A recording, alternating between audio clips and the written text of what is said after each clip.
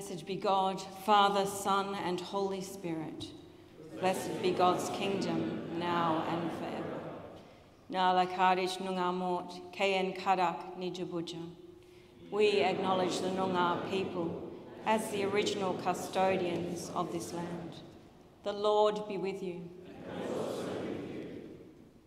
Almighty God, to whom all hearts are open, all desires known, and from whom no secrets are hidden. Cleanse the thoughts of our hearts by the inspiration of your Holy Spirit, that we may perfectly love you and worthily magnify your holy name. Through Christ our Lord. Amen. Thank you.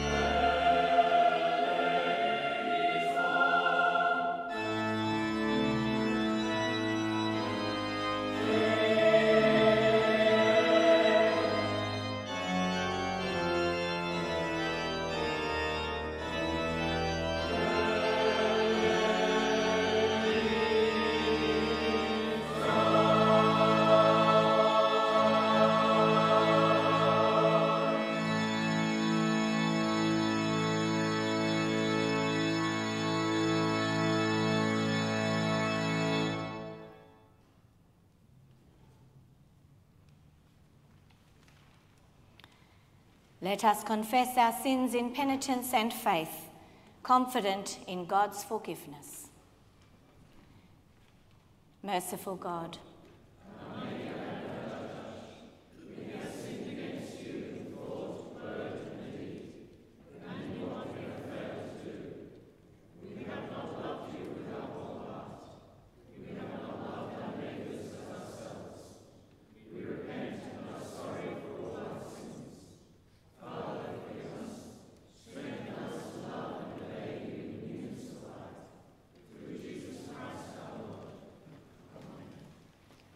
Almighty God, who has promised forgiveness to all who turn to him in faith, pardon you and set you free from all your sins, strengthen you in all goodness, and keep you in eternal life.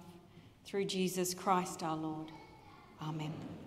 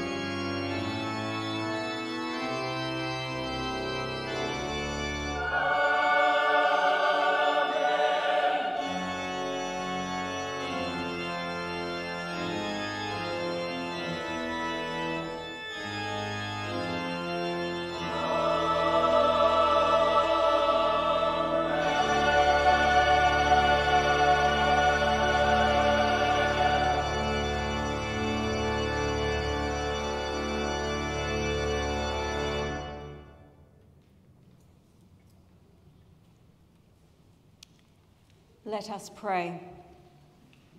Cleanse our consciences, O Lord, and enlighten our hearts through the daily presence of your Son, Jesus Christ, that when he comes in glory to be our judge, we may be found undefiled and acceptable in his sight, who lives and reigns with you in the Holy Spirit, one God now and forever. Amen.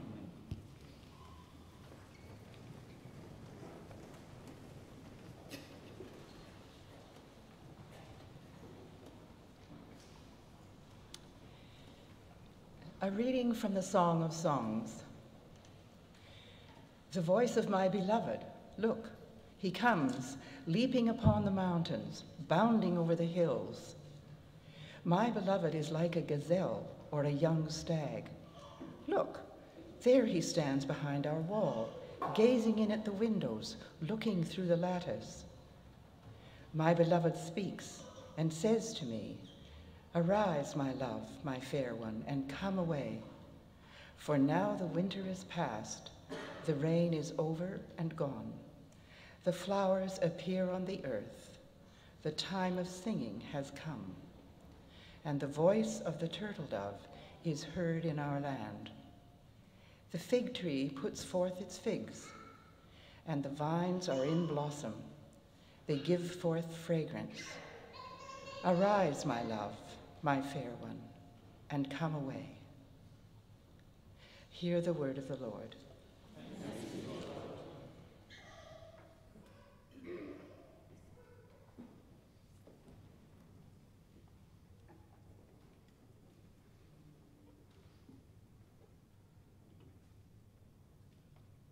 My heart is inditing of a good matter. I speak of the things which I have made unto the king. My tongue is the pen of a ready writer. Thou art fairer than the children of men. Full of grace are thy lips, because God hath blessed thee forever. Gird thee with thy sword upon thy thigh, O thou most mighty, according to thy worship and renown.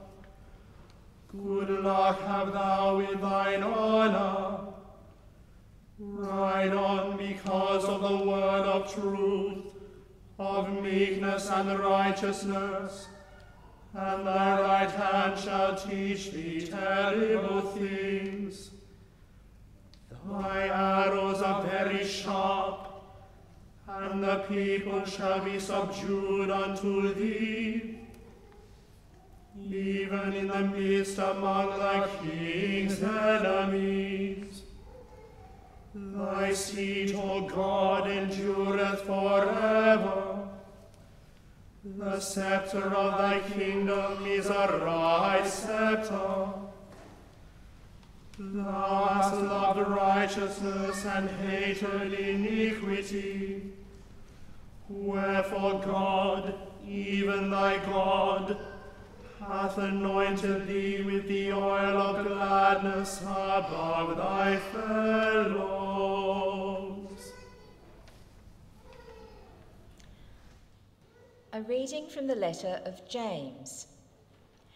Every generous act of giving, with every perfect gift, is from above, coming down from the Father of lights, with whom there is no variation or shadow due to change. In fulfillment of his own purpose, he gave us birth by the word of truth, so that we would become a kind of first fruits of his creatures. You must understand this, my beloved. Let everyone be quick to listen, slow to speak, slow to anger, for your anger does not produce God's righteousness.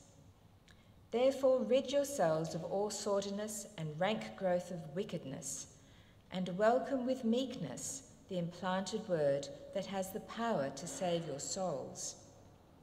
But be doers of the word, and not merely hearers who deceive themselves. For if any are hearers of the word and not doers, they're like those who look at themselves in a mirror. For they look at themselves and, on going away, immediately forget what they were like. But those who look into the perfect law, the law of liberty, and persevere, being not hearers who forget, but doers who act, they will be blessed in their doing. If any think they are religious and do not bridle their tongues but deceive their hearts, their religion is worthless. Religion that is pure and undefiled before God the Father is this to care for orphans and widows in their distress, and to keep oneself unstained by the world. Hear the word of the Lord.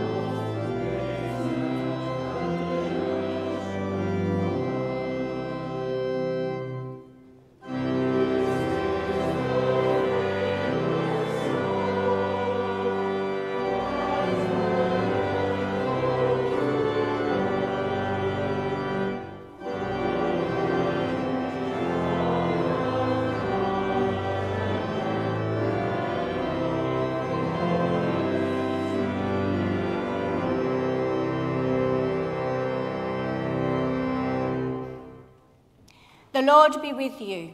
And also with you. The Gospel of our Lord Jesus Christ, according to Mark. Glory to be to you, Lord Jesus Christ.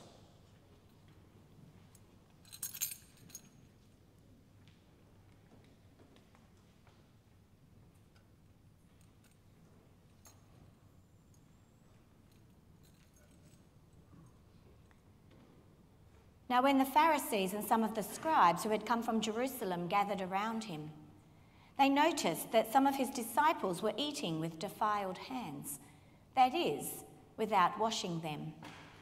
For the Pharisees and all the Jews do not eat unless they thoroughly wash their hands, thus observing the tradition of the elders.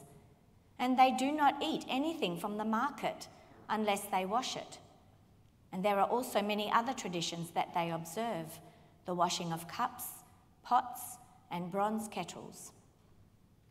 So the Pharisees and the scribes asked him, Why do your disciples not live according to the tradition of the elders, but eat with defiled hands? He said to them, Isaiah prophesied rightly about you hypocrites, as it is written, This people honors me with their lips but their hearts are far from me. In vain do they worship me, teaching human precepts as doctrines. You abandon the commandment of God and hold to human tradition. Then he called the crowd again and said to them, Listen to me, all of you, and understand. There is nothing outside a person that by going in can defile, but the things that come out are what defile. When he had left the crowd and entered the house, his disciples asked him about the parable. He said to them, Then do you also fail to understand? Do you not see that whatever goes into a person from outside cannot defile, since it enters not the heart but the stomach and goes out into the sewer? Thus he declared all foods clean. And he said, It is what comes out of a person that defiles, for it is from within, from the human heart, that evil intentions come fornication, theft, murder, adultery, avarice, wickedness, deceit, licentiousness, envy, slander, pride, folly. All these evil things come from within, and they defile a person. This is the gospel of the Lord. Praise, Praise be, Lord Jesus Christ.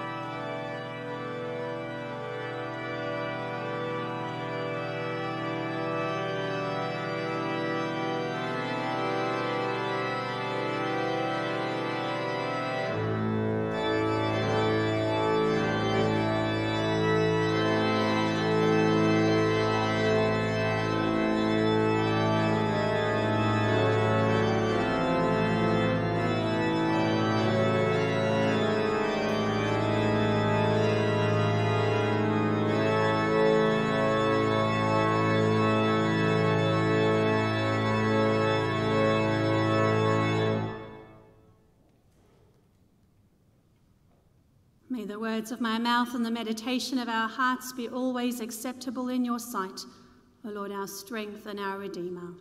Amen.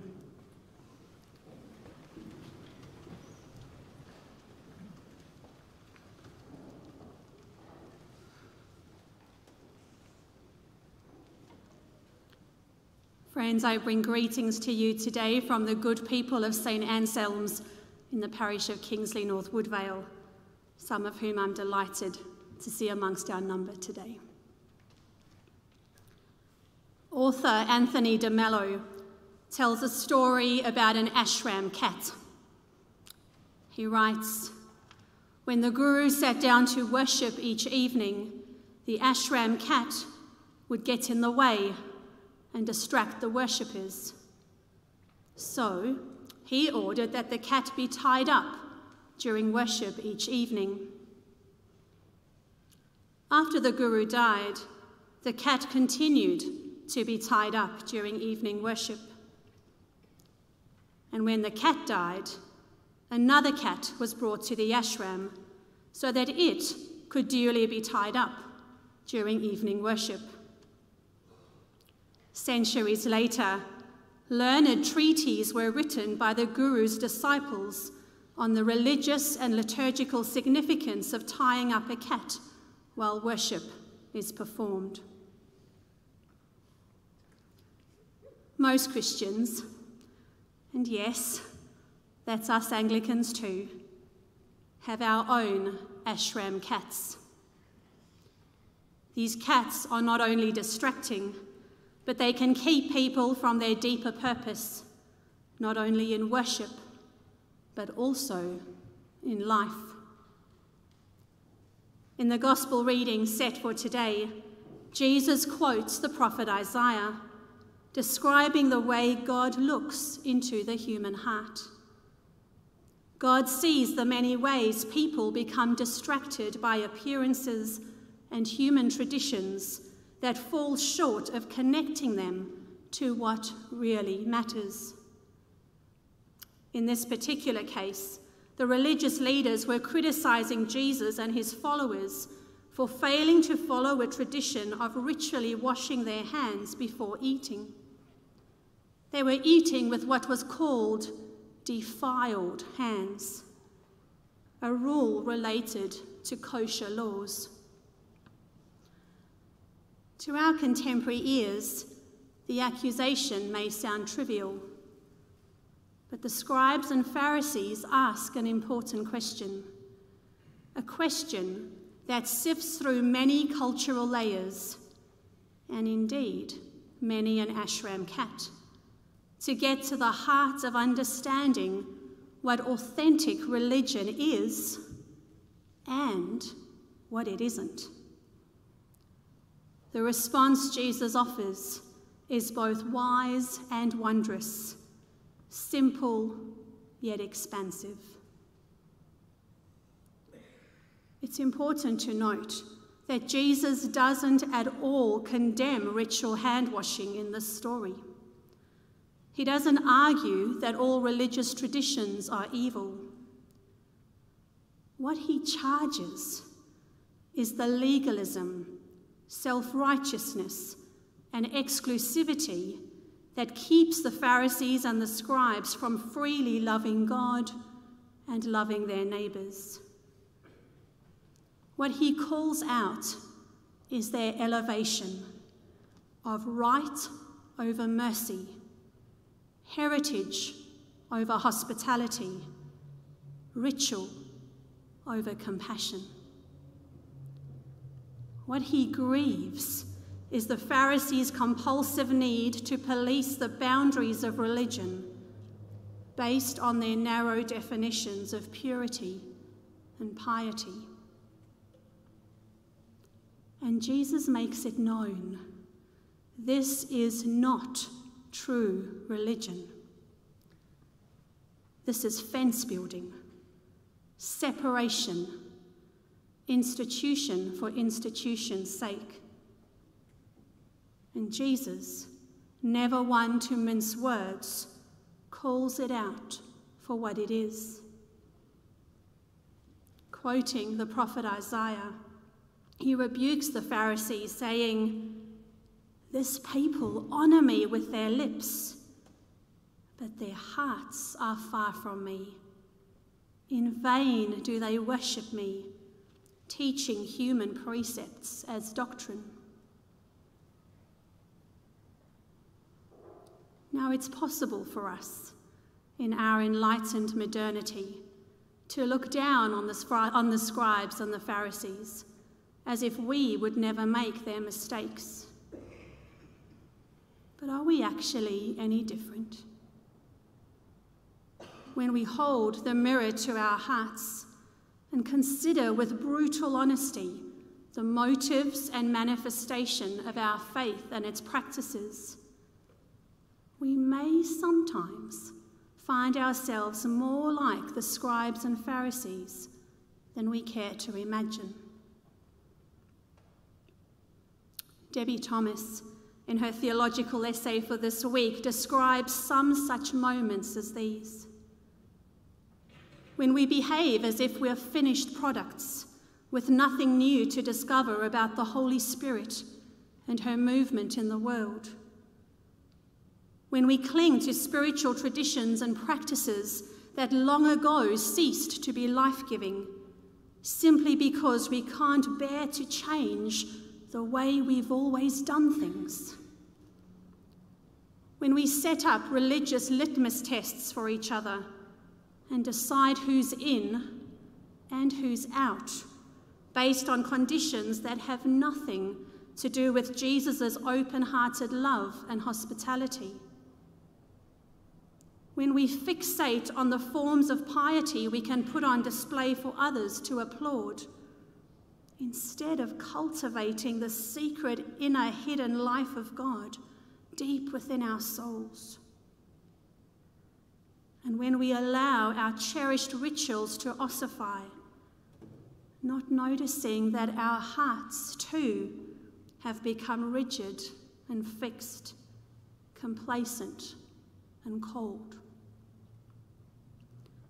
It is then that we fall prey to the same hypocrisy and the same burdensome rituals of religion that Jesus calls out in the Pharisees' behavior. It doesn't matter what specific form our legalism takes. In some churches, it centres around liturgy or preaching styles. In others, it comes down to deifying one genre of music over another. In some faith communities, the lines in the sand have to do with women clergy, or same sex marriage, or racial justice, or economic equality. The guises vary, but in the end, legalism, in any guise, deadens us towards God and towards our neighbours. It freezes us in time, making us irrelevant to the generations that come after us. It makes us stingy and small minded, cowardly and anxious. It strips away our joy and robs our peace. And it causes us, in Jesus' chilling words, to honour God with our lips, but to worship Him in vain. So, what can we do? How can we discern whether our way of doing religion, our way of living our faith, is life giving or not? Jesus gives his listeners this advice Notice what comes out of you. Notice what fruit your adherence to tradition bears. Does your version of holiness lead to hospitality, to inclusion, to freedom? Does it cause your heart to open wide with compassion? Does it lead other people to feel loved and welcomed at God's table? Does it make you brave, creative, and joyful? Does it prepare your mind and body for a God who is always doing something new and fresh? Does it facilitate another step forward in your spiritual growth? Or does it make you small, stingy, and bored, fearful, suspicious, and judgmental?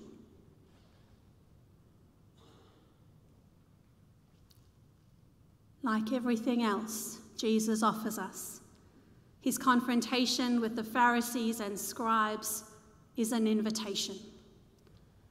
It's an invitation to let go of our ashram cats and to consider what is really sacred and non negotiable in our spiritual lives.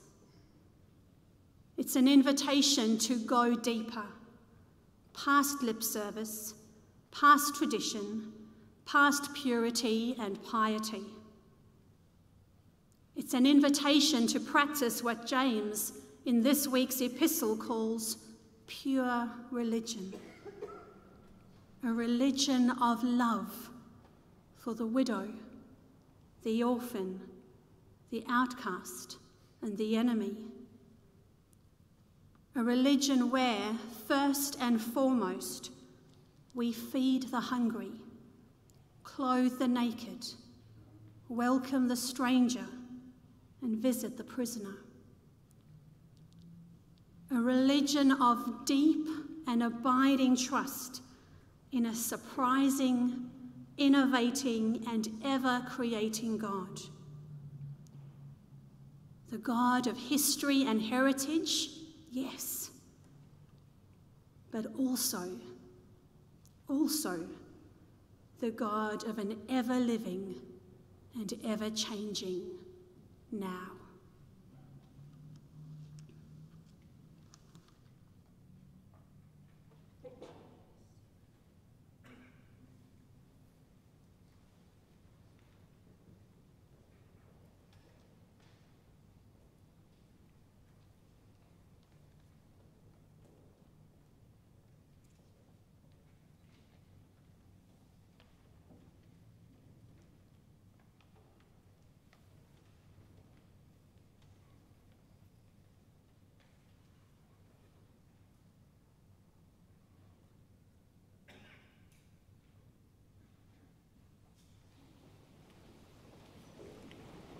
Let us together affirm the faith of the Church. We believe in one God, the Father, the Almighty, maker of heaven and earth, of all that is seen and unseen. We believe in one Lord Jesus Christ, the only Son of God, eternally begotten of the Father, God from God, light from light, true God from true God, begotten, not made of one being with the Father. Through him all things were made. For us and for our salvation, he came down from heaven, was incarnate of the Holy Spirit and the Virgin Mary, and became truly human. For our sake, he was crucified under Pontius Pilate. He suffered death and was buried. On the third day, he rose again in accordance with the Scriptures. He ascended into heaven and is seated at the right hand of the Father. He will come again in glory to judge the living and the dead, and his kingdom will have no end. We believe in the Holy Spirit, the Lord, the giver of life, who proceeds from the Father and the Son, who with the Father and the Son is worshipped and glorified, who has spoken through the prophets. We believe in one holy, Catholic, and Apostolic Church. We acknowledge one baptism for the forgiveness of sins. We look for the resurrection of the dead and the life of the world to come. Amen.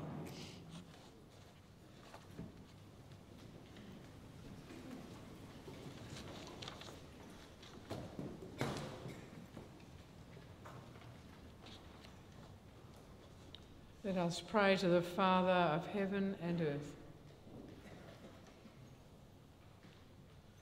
Stir the hearts of every world leader to form just and safe communities for the peoples under their care.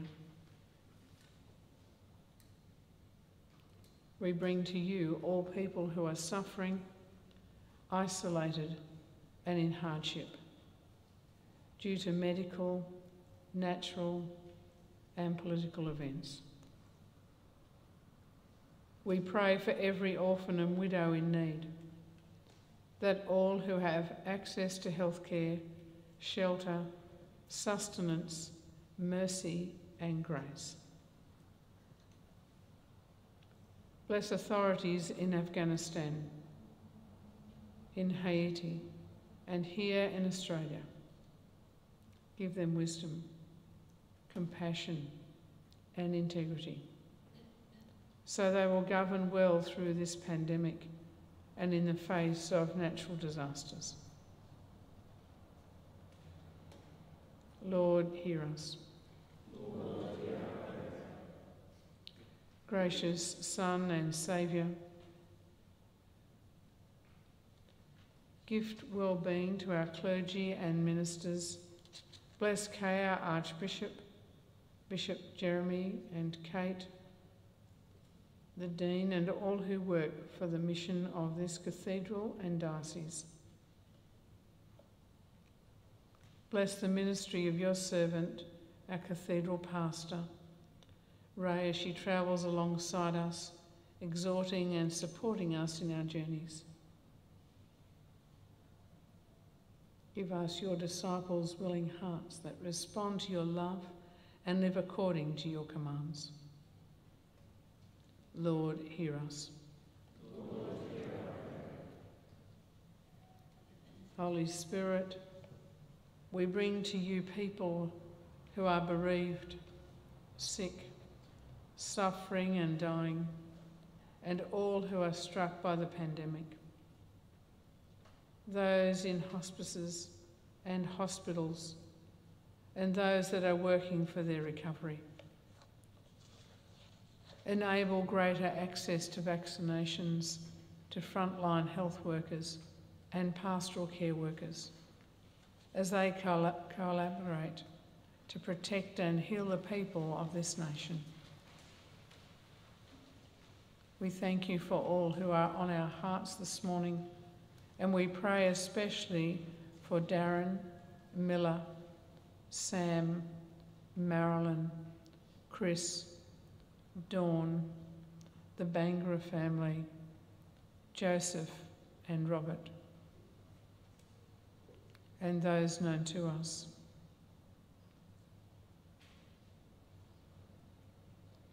Lord, hear us. Glorious Trinity, thank you for the hope of the resurrection and the promise of resurrection to eternal life.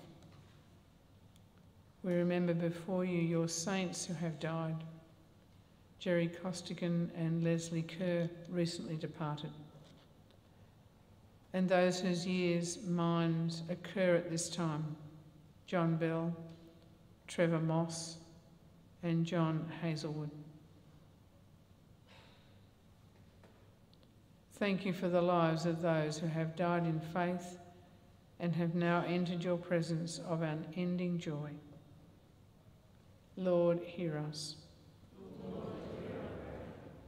Almighty God, you have promised to hear our prayers Grant that what we have asked in faith we may by your grace receive through Jesus Christ our Lord. Amen.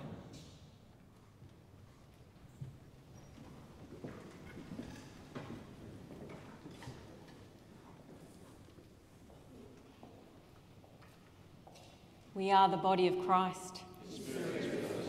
The peace of the Lord be always with you.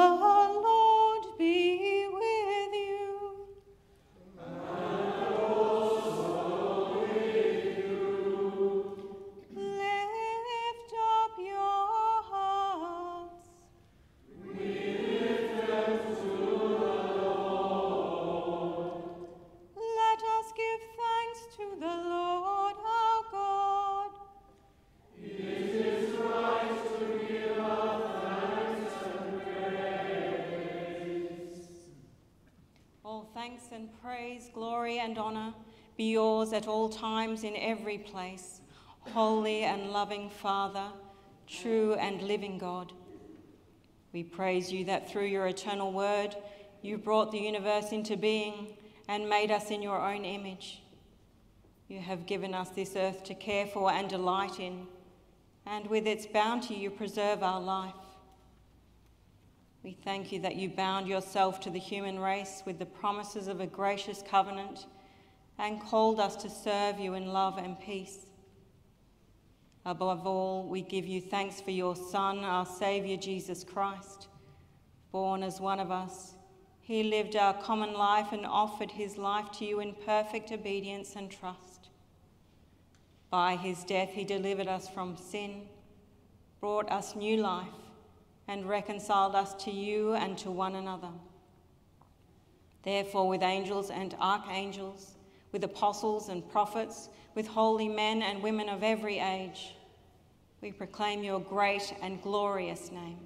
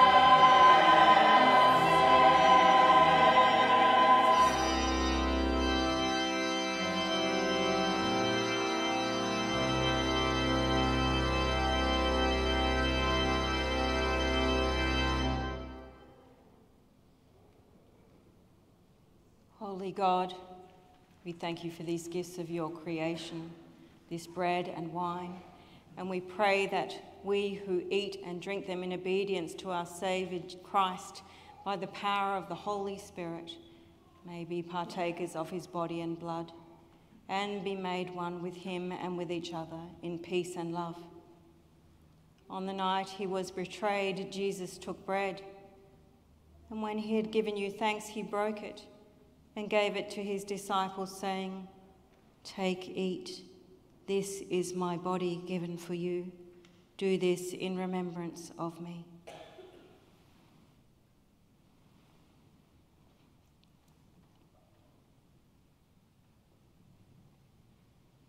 After supper, he took the cup, and again giving you thanks, he gave it to his disciples, saying, Drink from this, all of you.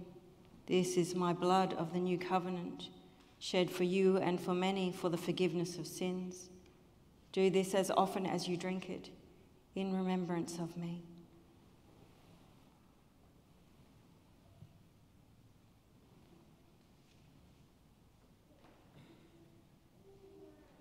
Therefore, we do as our Saviour has commanded, proclaiming his offering of himself made once for all upon the cross his mighty resurrection and glorious ascension, and looking for his coming again, we celebrate with this bread and this cup his one perfect and sufficient sacrifice for the sins of the whole world. Let us proclaim the mystery of faith.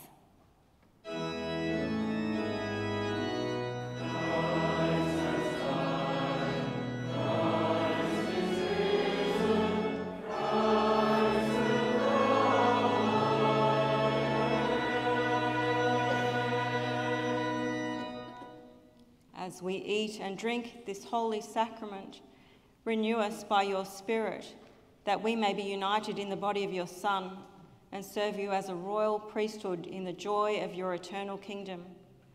Receive our praises, Father, through Jesus Christ our Lord, with whom and in whom, by the power of the Holy Spirit, we worship you in songs of never ending praise.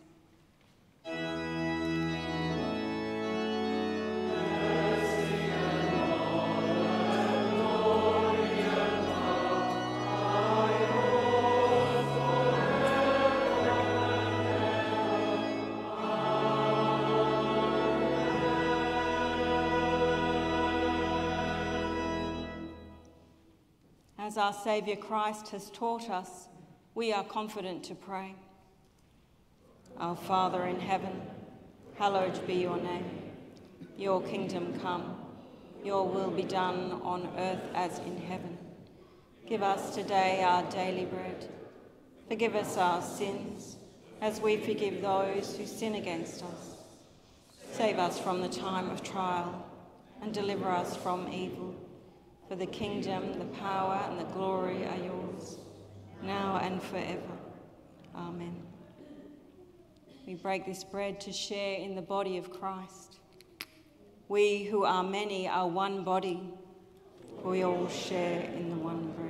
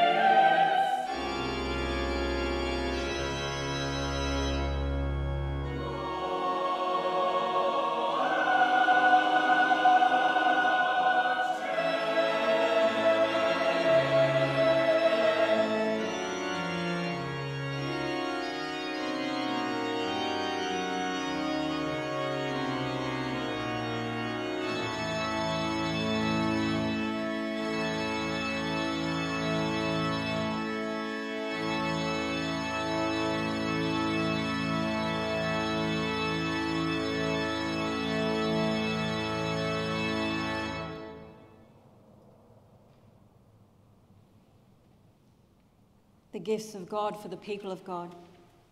Come, let us take this holy sacrament of the body and blood of Christ in remembrance that he died for us and feed on him in our hearts by faith with thanksgiving.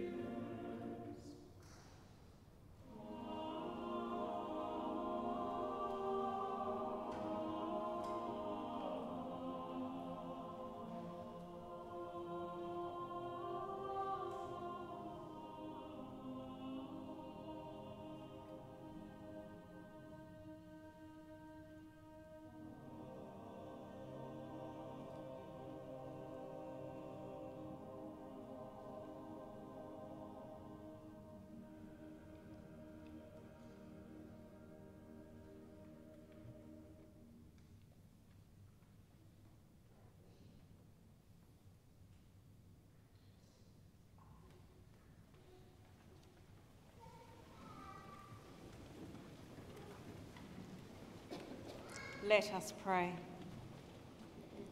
Gracious God, we thank you that in this sacrament you assure us of your goodness and love.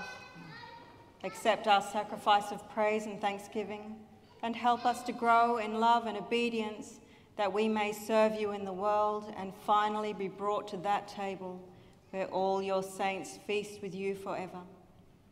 Father, we offer ourselves to you as a living sacrifice through Jesus Christ our Lord.